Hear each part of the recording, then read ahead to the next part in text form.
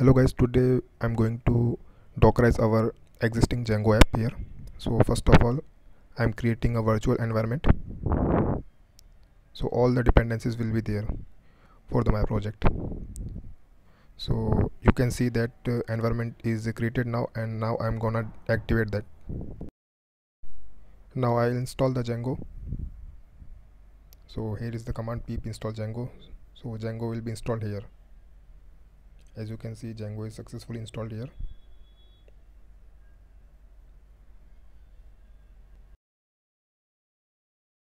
After installing the Django I'm gonna create a new fresh Django project here.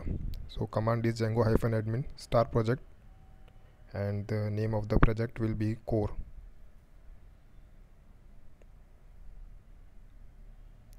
So my project core is successfully created now I go I will go to the my project directory and I will create a app inside my project. Named is my app so here is the command python manage.py start app my app so my application is also created in our project. Now what I will do here? I will migrate all the default migrations here and all the migration have successfully applied. Now I will start the server python manage.py run server. As you can see the server is started and now I will open the application in the browser localhost colon 8000 so as you can see our basic Django app served successfully. So here to dockerize our existing Django application we have to create uh, two files. One is docker file and another one is uh, docker compose.yml file. So as you can see i am in my root directory of my project where manage.py resides.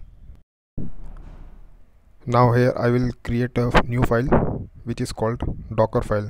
Make sure d should be capital here. So i have created a docker file. Another file i will create which is name is docker compose.yml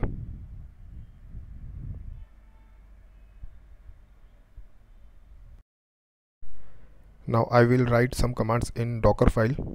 So first of all I will choose the base image from python and the version of python should be match from your system. You can check here I'm using Python 3.9 so I will write here 3.9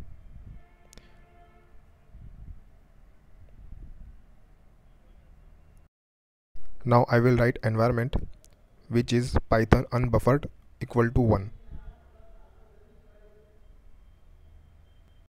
now I will say docker to run a command or create a directory named app.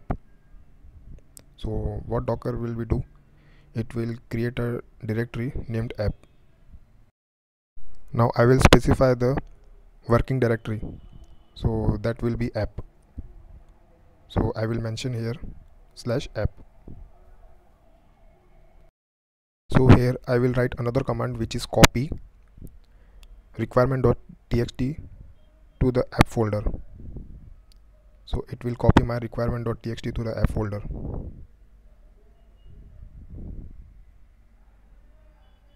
after copying this I will say docker to run a command pip install hyphen r requirement.txt which will install all the requirements to the app folder. And uh, after that I will write a command copy and uh, it will copy all the dependencies to my working directory which is named app. So the next step is here. I'm gonna configure docker compose.yml so here in this file what I have to do I have to mention the version of the docker here. So I will write the command here version and I'm using here 3 and you can use the services here. So I will use the service and uh, in this I will use the web service. So I'm writing here web and uh, I have to mention build. So here build should be in my current working directory. So I am using here dot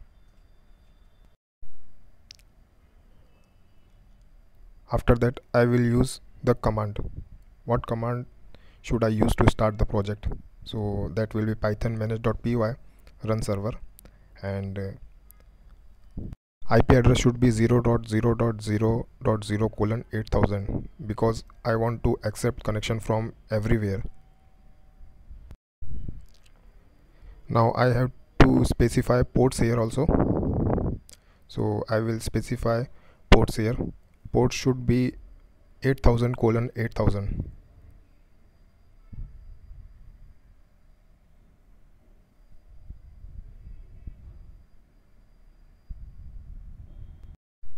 now we are good to go with the docker. So what we have to do here we have to just uh, build the all the dependencies to the docker now one thing is remaining here to do. We have to create a requirement.txt and mention all the requirements in the requirement.txt file. So i'm gonna pip freeze all the requirements to the requirement.txt file. As you can see requirement.txt is created in project and all the dependencies are there. Now we have to only run a command docker compose up before that we have to format this file and indentation matters in the docker compose.yml file. So make sure your indentation are correctly configured. Otherwise it will throw an error.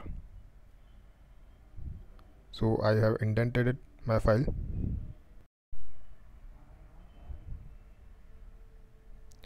Now I will write a command docker compose up and uh, it is building my images and uh, installing pip install requirement.txt and uh, as you can see all the dependencies are installing and layers are exported and